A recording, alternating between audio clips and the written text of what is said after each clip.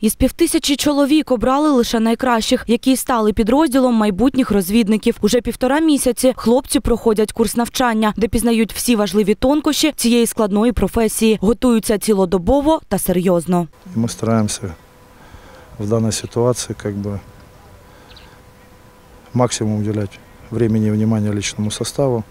Мы рядом с ним находимся 24 часа в сутки вместе с инструкторами «Патриот», Центра «Патриот».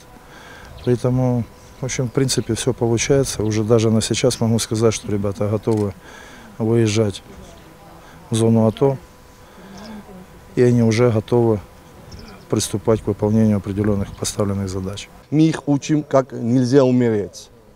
И как они должны сохранять свою жизнь, как они должны защищаться от э, противника, и как э, они э, должны э, э, поражать противника, и как, как- как- как- ну, как они должны защищать себя, чтобы они были живыми, вернулись дома живыми и целыми. Перед інструкторами підрозділу стоїть надзавдання за 3-4 місяці підготувати професіональних бійців, які зможуть зіграти свою вкрай важливу роль у конфлікті на сході. Адже розвідка це одна з провідних віг військових професій. Досягти найвищого результату бійцям допомагають справжні профі, інструктори з організації Патріот, засновником якої є Костянтин Паршин. Все это происходит э, по стандартам НАТО, потому что в нашей э, организации есть э, инструктора э, с Грузии, с, э, Соединен- э, с Америки, э, с Израиля, э, вот, и местные тоже ребята украинские, которые, у которых у всех э, есть опыт и в различных э, э, военных действиях. Більшість бійців цього підрозділу добровольці. Усі вони патріоти своєї держави, які прагнуть гідно захистити її від загарбника. Хлопці налаштовані рішуче. Відразу відчувається серйозна підготовка і дуже сильна мотивація.